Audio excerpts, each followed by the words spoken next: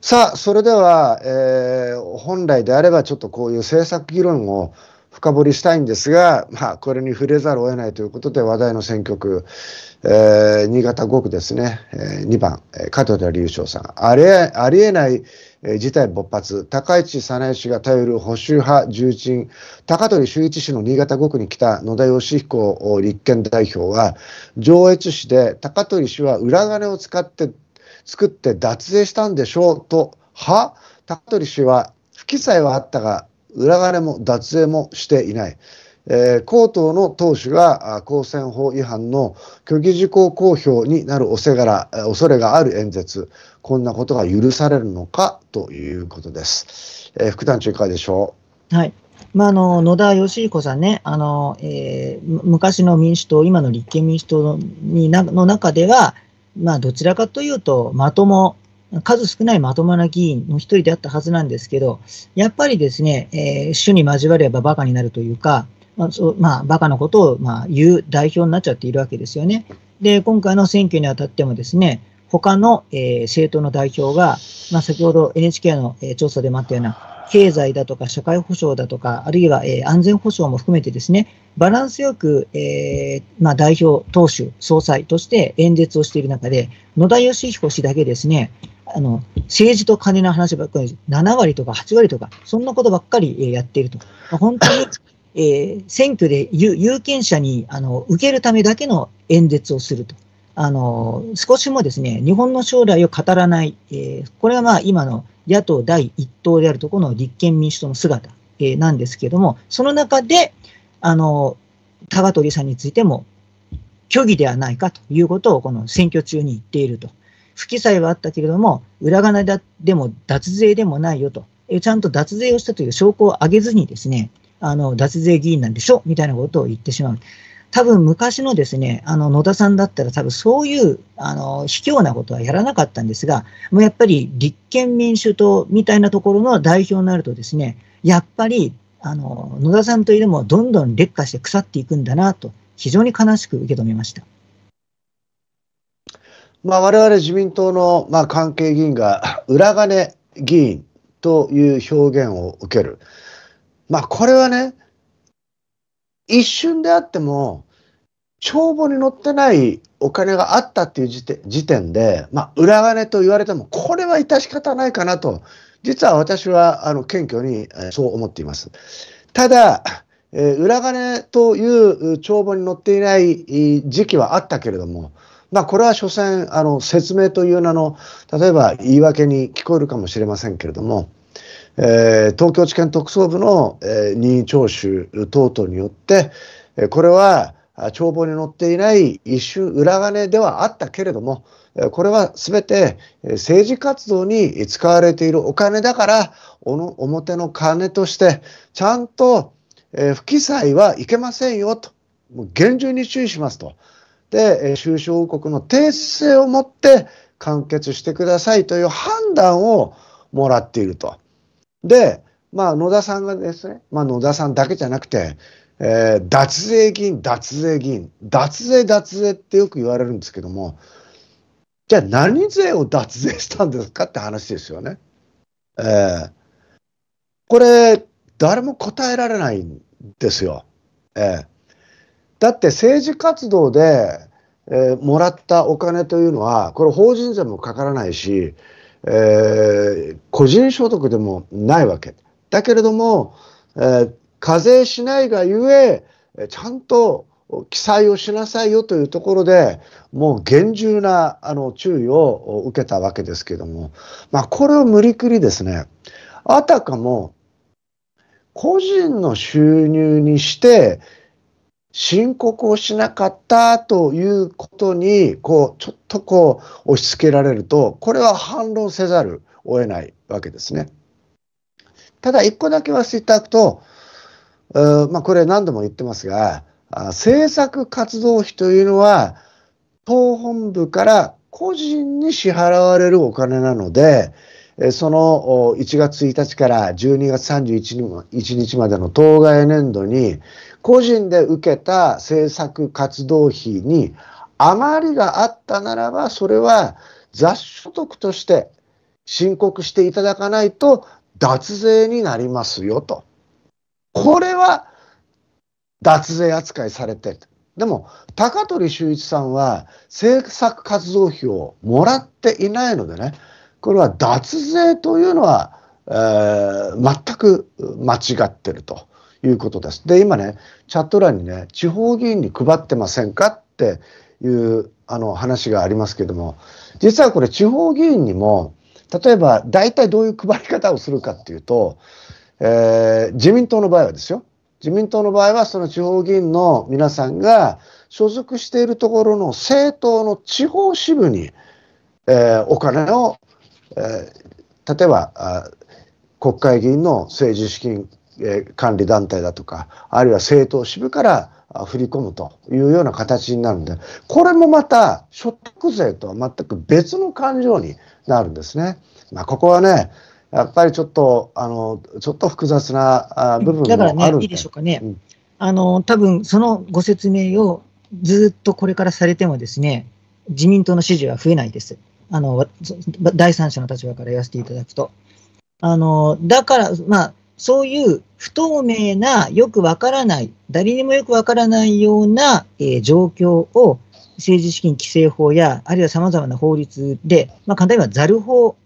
をやってきたから、こういう政治不信につながっているので、そもそもそういう皆さんがわからない、制度を一生懸命あの説明しても結局みんな納得いかないような、ことをあのやってきたからですね、野田さんみたいなことに、人にああいうことを言われても、あのうん、そういう面もあるかなっていうふうに、やっぱり国民は思っちゃうわけですよ。先ほどの政策活動費のところで、えー、雑所得のところは個人の所得に入っちゃうから、それはちゃんとあの課税されなきゃいけない。それについても、じゃあ、あの岸田さんと石破さんは、えー、まあ、これまでの議員の人たちに、えー、まあ、に、えー、雑所得に、えー、なって課税されなきゃいけない部分は、えー、いくらで、えー、それはちゃんと、えー、事後的にだけれども、えー、ちゃんと払いましたとかですね、こういうことを公表していればまだいいんですけど、そこの法律変わってまだないじゃないですか。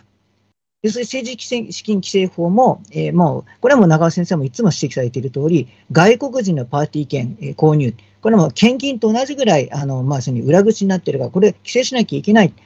でも、今の、えー、岸田、石破、えー、政権は、この法律の改正にも踏み込まない。だから、やっぱり皆さんですね、長尾さんがどんなに丁寧に説明してもですね、それって結局言い訳だろっていうふうに、なんか3分の1だかの人は思っちゃ、半分のくらいの人は思っちゃうわけですよ。だからそこを、あの、まあ、高取さんは絶対綺麗だと思うんですけども、その説明よりも、だから、あの、政治規正法で何なりの改正を一刻も早くやらなきゃいけないっていうことをですね、どっちかというより、あの、自民党内で声を上げていただいた方が、政治と金の問題について、皆さんがもう過去の問題だって、こう、収められると僕は思います。あの、僕の、もうそこのところは共有してますよ。ええこれはこのままじゃいけないということをずっと言い続けたんで、で僕の説明は、脱税ではないよねっていう説明です。脱税じゃないですよねっていう説明なので、ここはちょっとその先の部分と、えー、一緒にやられると議論が、えー、混乱をするので、そこはちょっと収めて、はいえー、いただきたいなと。僕は脱税じゃないっていう説明をしてる。だからといって政治と金のことについて僕がこの説明をしたことで皆さんが納得するとは思っていない。ここが、ね、立場上で言わなきゃいけないですもんね。いや、立場上じゃないよ。えー、立場上じゃなくて、本当にそう思ってるので。えー、確かに分かりづらい。えー、だから門田隆翔先生がピンポイントで指摘している部分は、脱税じゃないよっていう説明を僕はしているので、はいはいはい、脱税じゃないものを脱税という野田さんはおかしいよねっていうのは、ね、その説明を僕はしているので、はい、えー、もちろん僕はあ政策活動費についてはね、使途を明らかにしなくていいとなっているからおかしいわけで、使途を明らかにして、じゃあ残高は残ってたんですか、残ってなかったんですか？ということを、領収書などの根拠を持って残高をちゃんと証明して、で、余ってなければそれでいいです。余ってたらちゃんと所得税、いわゆる雑所得で課税しま課税しますしますよってことはもうすでに文書に書いてあるんで、ね、だから政党助成法の中に、えー、これを明らかにしなさいということは書いてないので、明らかにしていきましょうということは、吉田副団長と同じことをずっと今まで言ってきたんで、ちょっとそこのところは、ちょっと、はい、あの、えー、区分けして説明を、えー、させていただければなと、えー、思います。まあちょっとね、やっぱり必死だとか、僕が反省していないかのような説明に多分映るんでしょうね。えーまあ僕は、あの、映っちゃうんですよ。それで、あの、ままずいなと思って。脱税ではないっていう高取さんの説明を、えー、していますので、えー、そこはね、ちょっと、あの、座標軸をちょっと合わせて、えー、議論を、えー、していただきたいなと思います。まあ、理解していただいている方も結構いらっしゃるんで、ありがとうございます。さあ、それでは3番、えー、白川司さんですね。えー、産経新聞社と FNN の終盤情勢調査で、和歌山2区は、世耕弘成氏が、えー、自民党の二階信康らを抑えて優勢。えー、ということで、えー、あります。まあ、これは非常に、えー、注目の、えー、選挙区になるわけですけども、まあ、あのご承知の通り、えー、世耕さんはあ清和会の中の参議院の政風会、これを取りまとめていらっしゃる方です。で、事務総長を務めたことはありません。で、清和県の、まあ、要は役員のお一人として、4月にですね、そのお立場で、事務総長を務めた塩谷龍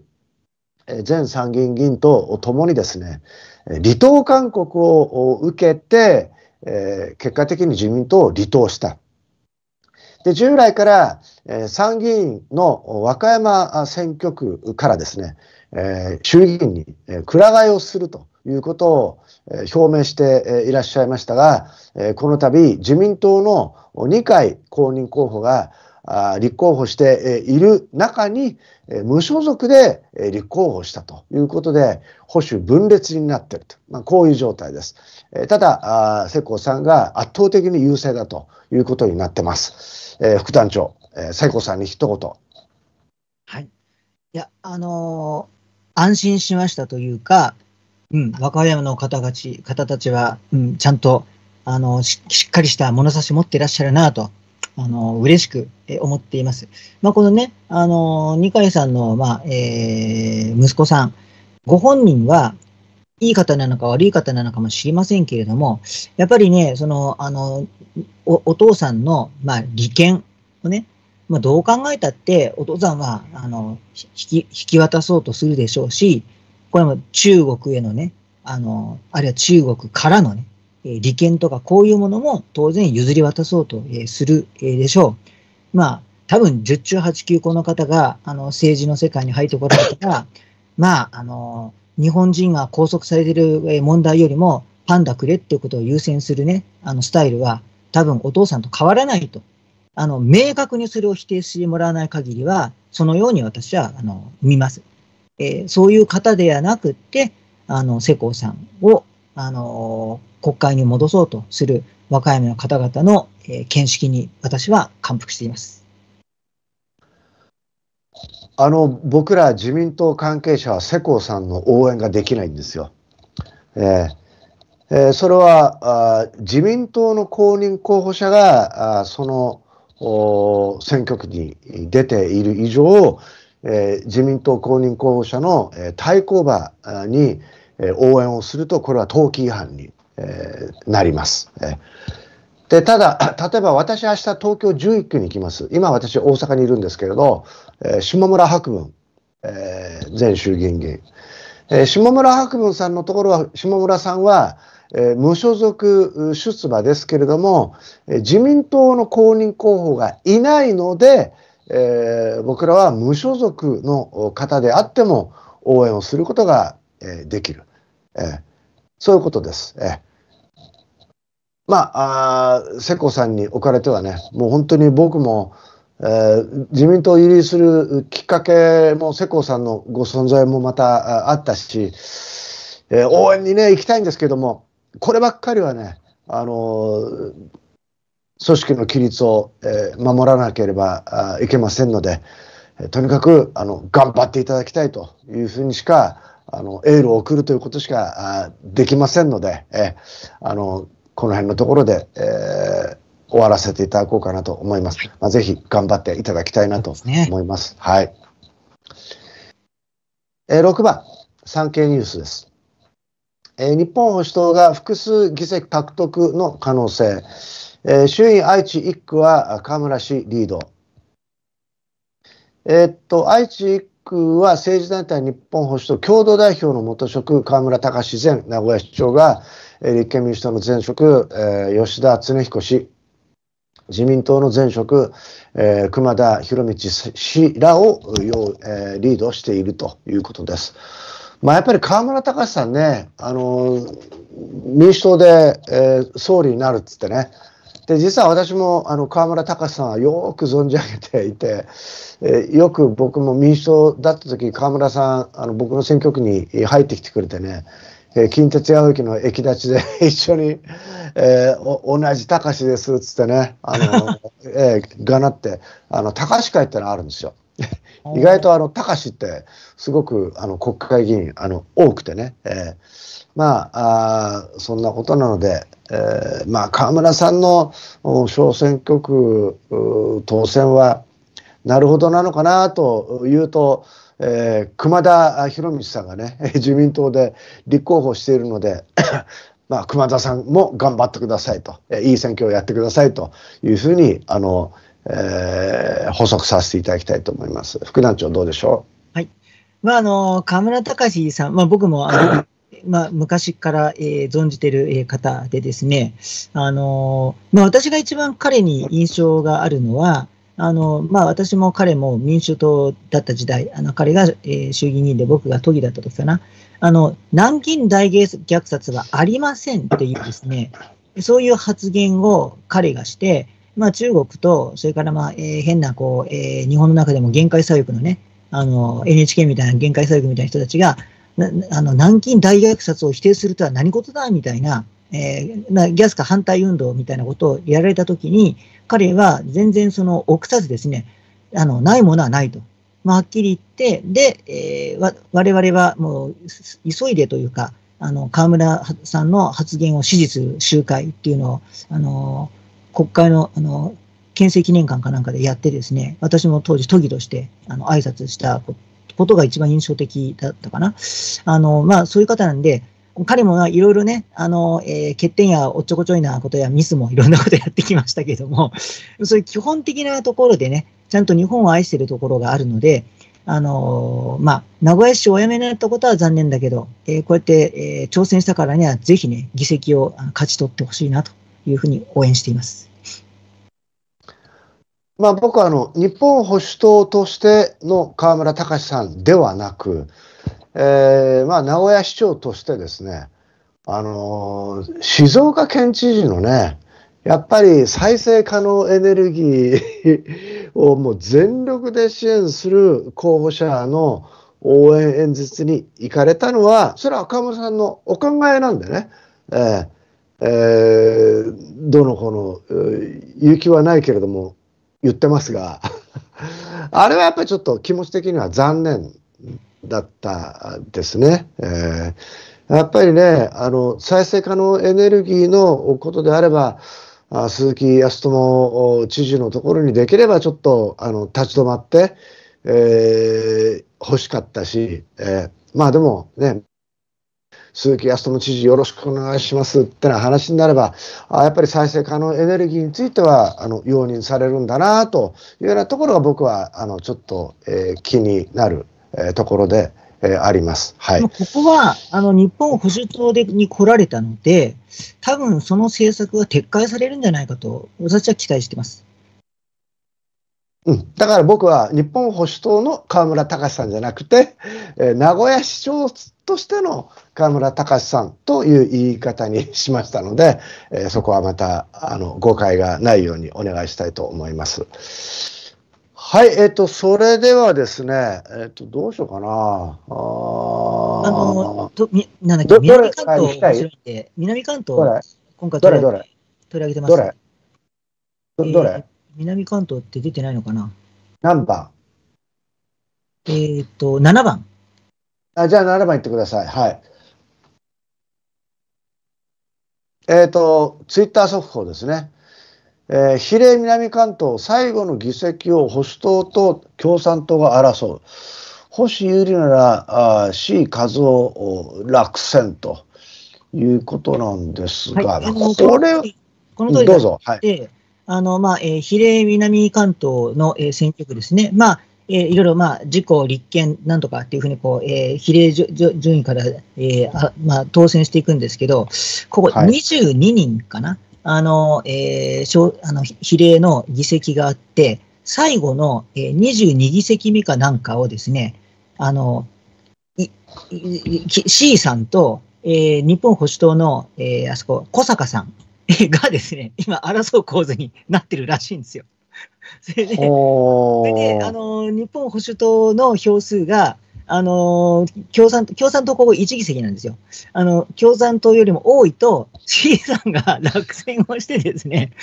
先人の小坂さんが日本保守党一撃っていうね、もう、みまあ、なんだろうな、あの、野獣馬的にはもう面白くてしょうがない、そういう戦、あの、比例戦になっていて、まあ、当然僕はですね、日本保守党頑張ると、いうことでございます。はい。まあ、あのー大雑把に言うと、ブロックで30万票で1人ですね。うんええ確かに、ここ、前回が、ひ C さんがに52万票かなんかがだったかな。だから52万票ってことになると、えー多分2人行くか行かないかですね。50万票では2人行かないですね。えー、2だからここに人議席さん一人だはったんですよ、前回。うんとすると、まあ、まあ、ここはね、なるほど、あの話としては面白いってことは分かった。はい。はい。ええやっぱりこれはね、あの最後のその結果が、比例票って本当に予測がつかないんで、小選挙区はね、世論調査を選挙区ごとにやるんで分かるんですけど、ブロックごとの世論調査って実は取らないんですよ。ええで、各選挙区の、えー全体票の積み上げ方式で、あの比例の数字はあの読み込んでいくところがありますんでね、はいまああのえ観点としてはあの何が面白いかってことはよく分かりました。はい、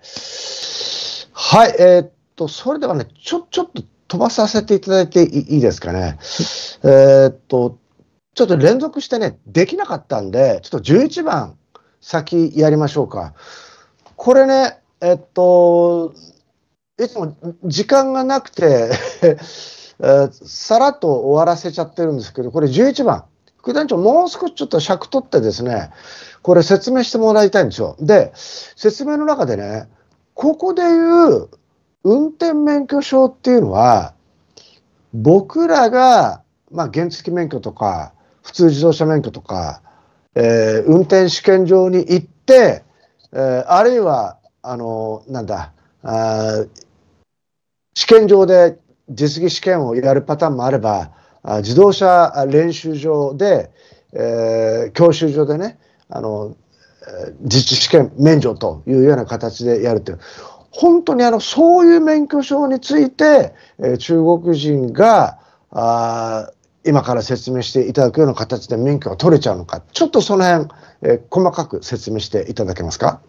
はい。えーっと、まあ、あーえーっとね、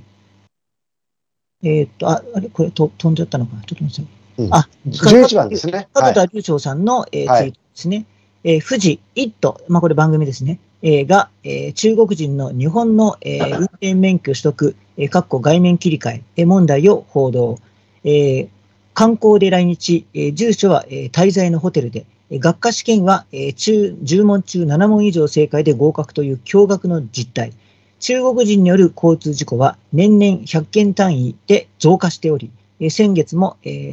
川口市で一方通行飲酒の中国人が猛スピードで逆走し、日本人男性が命を落とした。中国の利益代弁者公明党の熱心な語りかけで進んだこの免許問題、止められるのは誰かというふうに、えー、門田隆翔さんがツイートしていて、で、この、えー元ですね、高橋、えー、レイさん、闇を暴く人さんの、えーツイートですね。えー中国人が短期ビザでホテルの住所で免許が発行されている問題を放送局が7分の特集を組んでくれた。僕も写真提供などをしたが、多くの日本人はもっと怒った方がいい。えー運転免許試験場には、や、えーや、夜中から中国人の行列で、近隣ホテルが無料で滞在証明書を発行している。これ以上日本人の被害者を増やすな。で、その、え番組が、まあ、これは動画は流せないんですかね。えー日本の免許試験にえー徹夜の中国人、えーという、えーまあ、とうとう、えーメディアが報じてくれましたという、えー内容ですね。で、まあ、この、えー記事、えーこの通りでありまして、えーまあ、この門田さんが、門田先生がおっしゃっている通り、外面切り替えっていう言葉がキーワードですけども、要するに外国の免許、免許証を、えー日本に切り替えるという、えーそういう、えーだから中国の免許証を持っている人。なんですね。だから、に中国で免許証を持っていない人にいいきなり、えー10問中7問ってことじゃないんですよ。はいだけども、に中国はあの、えー免国際免許証に関するジュネーブ条約っていうのかな？っていうのに入っていないんですね。だから、実はあのこの外面切り替えって本当はジュネーブ条約上はできないはずなんですよ。あのうん、それをどういう運用でか日本政府は、えーまあ、簡単に言えば認めちゃっているんですね。あのーで、それで、えー10問中、えー7問っていう簡単な、えーまあ、ペーパーテストだけで、え認めてしまう。そして日本における、え住所というのも、え決まってなくても、えー定定住所がなくても構わなくて、あの、東急インとか、ホテルの名前だけで免許証が実際にもう多数発行されていて、そのために、えー各地の、えー高等とか鮫洲とかいろんな免許試験場でもって、えー中国人が行列して、その簡単に取れる、えー日本の免許証を取りに並んでいるという、えー状況。で、そして、えーその日本語も、えー読めない、日本語も通じないけども、えー免許証は発行してくれるので、えーバンバン日本で、100キロ、飲酒運転で100キロ飛ばして、えーの一方通行を逆走して日本人を殺しても不起訴というですね、こういう、まあ、公明党にとっては素晴らしい日本が今どんどん発展していると、こういう状況でございます。はい。これね、まあ、なんかちょっと他の番組でもちょっとごっちゃに議論されているようなところがあったので、あえて説明していただいて、あの、おっしゃる通りですよね。つまり、全く自国でも他国でも、免許証を持っていない人間が免許を取るのではなく、えー自国で免許を持っている人が外国で、えー免許を切り替える。国際免許ですね。で、僕も実は米国で、えーまあ、1ヶ月ぐらいかな。あの、車で、あの、移動しなきゃいけないって言われて、あの、国際免許取ったんですよ。で、あの時は、やっぱり、あの、えー日本でね、発行されている、それは本籍から、今はもう免許証は本籍も書いてないですけども、本籍と現住所とそういうものがあって、それでちょっとした試験を受けて国際免許を切り替えてと。ただ、宿泊先のホテルがね、その住所でいいのかっていうのは全くその通りですよね。えーつまりこれは居住してない人間も、えー日本にえー来れば、あ日本国内で、えー運転できちゃうよなんていうね、とんでもないあの運用なので、これね、まあここ。なんで住所をあの免許証に記載するかというと、うん、事故やいろんな問題を起こしたときに、当然ですよ。きちんとそれを責任を取らせるためなんですよ。うんうん。はいで、そんなあの片手間にあの泊まってたあのホテルなんてですね、まあ、何日でいなくなるか分からなくなりますけれども、それで実際に事故を起こしたときに、その免許証の、えー登記されている住所に従って東急インのホテルに行ったってですね、そのお客様はもう帰られましたで終わりなんですよ。まあそういうことですね。えっとこの運用はね、えー絶対に、えークローズアップされて、えー正しい方向に、えー変えていかなきゃいけないとえーいうことでございます。当たり前ですね。はい。はい、えー、それでは、えー、23時01分になりました、えー。本日も4400人を超える方にご視聴いただきました。本当にどうもありがとうございました。じゃあ皆さんおやすみなさい。副団長もお疲れ様でした。どうも、はい、ありがとうございました。